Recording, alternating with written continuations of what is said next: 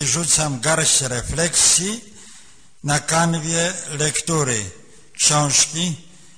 Do Wrocławia przybywałem wiele razy. A mianowicie w kazaniach, które tutaj wygłosił ksiądz kardynał Wojtyła, umacniał bardzo mocno naszą tożsamość historyczną, związaną z nowym zakorzenieniem ludzi na ziemi dolnośląskiej, po, tym, po tej wielkiej wędrówce narodów, która się dokonała w roku 1945 i następnych na skutek postanowień jałtańskich. W tej świadomości historycznej naczelne miejsce zajmuje zawsze święta Jadwiga Śląska, która była, jak podkreślano, patronką jego, dnia jego wyboru na stolicę Piotrową w Rzymie. Bardzo często rzeczywistość historyczną, czy najogólniej mówiąc przeszłość, interpretuje w świetle dokumentów Soboru Watykańskiego II. W ten sposób zostawił nam Jan Paweł II adekwatną hermeneutykę Soboru Watykańskiego II, która podkreśla zarazem ciągłość i nowość idei soborowych. Spór o tę hermeneutykę, jak widać na podstawie różnych publikacji, toczy się po dziś dzień, a wiodącą w nim rolę odgrywa Benedykt XVI.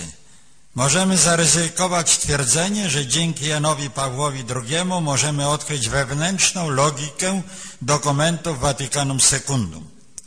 W swoich wykładach zostawił jeszcze jako kardynał Wojtyła bardzo pogłębioną teologię laikatu, którą ciągle rozbudowywał i rozwijał jako Jan Paweł II. Wiele miejsca w myśli papieża zajmuje kultura.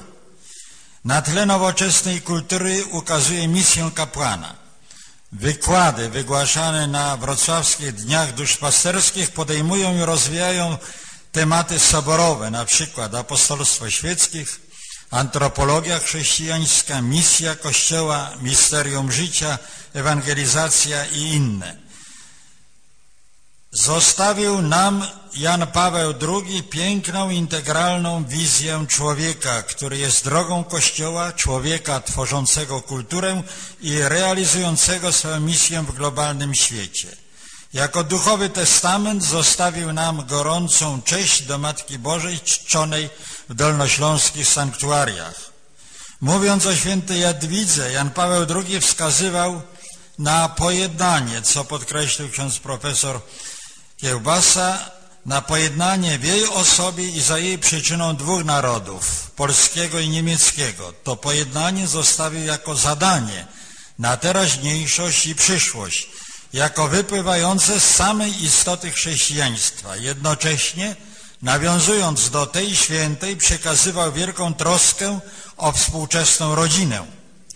Do duchowego dziedzictwa Jana Pawła II należy zaliczyć jego autentyczny patriotyzm. Osobistym przykładem ukazywał, jak należy miłować ojczyznę i bronić wartości, które stanowią o jej wielkości i które ją ukonstytuowały. To umiłowanie ojczyzny zostawił Jan Paweł II jako zadanie do realizacji w nowych czasach.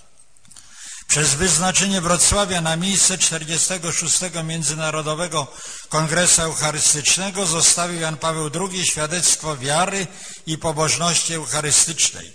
Zobowiązał nas do wdzięczności wobec Jezusa i tę wdzięczność w sercach mieszkańców Wrocławia i uczestników kongresu bardzo znacząco pogłębił. Nie obyło się przy tej okazji bez akcentów ekumenicznych, które wpłynęły zasadniczo na klimat tego szczególnego wydarzenia. Ku wolności wyswobodził nas Chrystus. Takie było hasło kongresu. Ta wolność była przedmiotem rozważań papieża przy Stacio Orbis. Z pojęciem wolności złączył papież postawę proegzystencji, to znaczy postawę bycia dla drugiego człowieka. Z okazji tysiąclecia powstania biskupstwa wrocławskiego ojciec święty Jan Paweł II zostawił nam piękny list, w którym ukazał bogactwo duchowe Kościoła Wrocławskiego.